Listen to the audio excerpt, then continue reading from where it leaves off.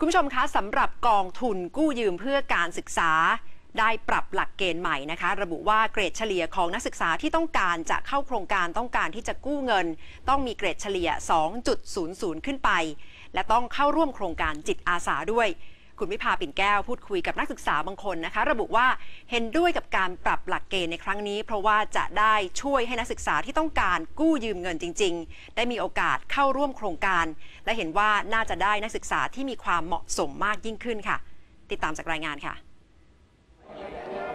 พิมพ์ นักศึกษาชั้นปีหนึ่งมหาวิทยาลัยราชภัฏบ้านสมเด็จเจ้าพระยา คือหนึ่งในนักศึกษาที่กำลังรอผลการพิจารณาการกู้ยืมเงิน จากกองทุนกู้ยืมเพื่อการศึกษา หรือกยศ เธอบอกว่า ปัจจุบันทำงานส่งตัวเองเรียน เพราะครอบครัวที่อยู่ต่างจังหวัด มีไรายได้ไม่มากนัก เงินจากกยศจึงเป็นทางเลือกที่ช่วยแบ่งเบาภาระ ซึ่งขณะนี้อยู่ในขั้นตอนพิจารณา แม้หลักเกณฑ์ใหม่เรื่องผลการเรียน 2.00 และการกำหนดให้ต้องทำงานจิตอาสา จะไม่เป็นปัญหาสำหรับเธอ แต่เธอก็ไม่มั่นใจว่าจะกู้ยืมเงินได้หรือไม่ โอกาสของเธอมีเพียงหนึ่งในสิบเท่านั้น เพราะจำนวนผู้ขอกู้มีมาก แต่ผู้มีสิทธิ์ต้องจำกัดจำนวน เพราะผลกระทบจากรุ่นพี่ที่ไม่คืนเงินกู้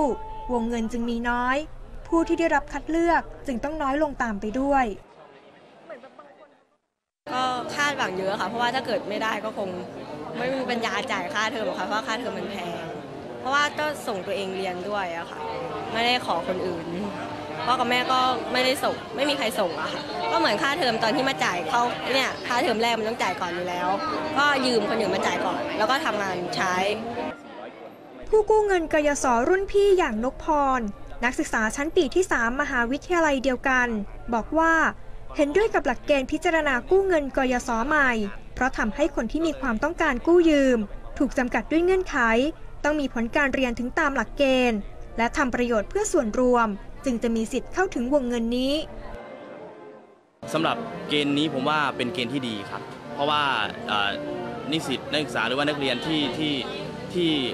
มีผลการเรียนไม่ดีเลยเนี่ยก็ก็ก็ต้องบอกว่าเขาไม่ตั้งใจเรียน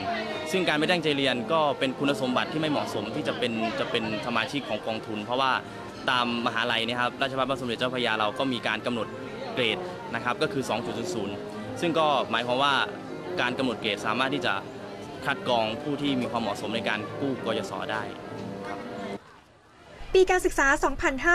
2558 กยศจะปรับหลักเกณฑ์การกู้ยืมเงินใหม่ ตามนโยบายของคอสช ที่ต้องการให้ปล่อยกู้ยาก จ่ายคืนง่าย หลักเกณฑ์การคัดกรองสถานศึกษา คือต้องเปิดการเรียนการสอนมาแล้วอย่างน้อย 1 ปีการศึกษา มีผลการรับรองคุณภาพจากสำนักงานรับรองมาตรฐาน และประเมินคุณภาพการศึกษา และเปิดโครงการจิตอาสา ที่มีประโยชน์ต่อสังคมและประเทศ ส่วนหลักเกณฑ์การคัดกรองผู้กู้ยืมเงิน คือกำหนดให้ผู้กู้ระดับมัธยมปลาย อนุปริญญาตรี และปริญญาตรี ต้องมีผลการเรียนเฉลี่ยสะสม ขณะจบการศึกษาไม่น้อยกว่า 2.00 หากผู้กู้รายเก่าจะกู้ต่อเนื่อง เมื่อเลื่อนชั้นปี ต้องมีผลการเรียนเฉลี่ยไม่น้อยกว่า 2.00 ส่วนระดับ ปวช ปวท และ ปวส ไม่กำหนด เพราะต้องการส่งเสริมการเรียนสายอาชีพ และต้องมีหลักฐานการเข้าร่วมโครงการจิตอาสา ไม่น้อยกว่า 18 ชั่วโมง อย่างน้อยหนึ่งกิจกรรมต่อภาคการศึกษา ซึ่งก่อนหน้านี้สถาบันการศึกษาได้จัดสรรวงเงิน และหลักเกณฑ์คัดเลือกผู้ขอกู้แต่ละสถาบันขึ้นเอง ส่วนหลักเกณฑ์กู้เดิมของกยศดูเฉพาะเรื่องรายได้ผู้ปกครอง ไม่เกิน 200,000 บาทต่อปีเท่านั้นให้ผู้กู้เมื่อจบการศึกษาแล้ว 2 ปี แล้วก็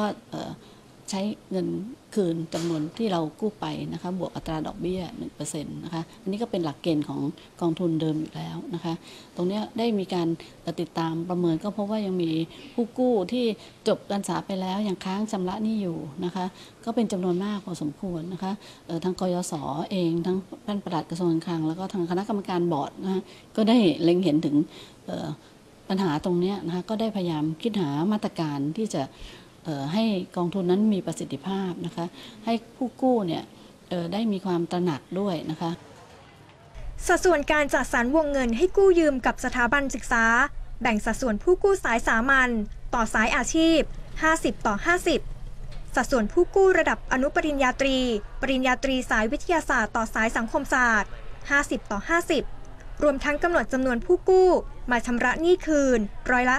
40 วิภาปิ่นแก้ว ไทย PBS รายงาน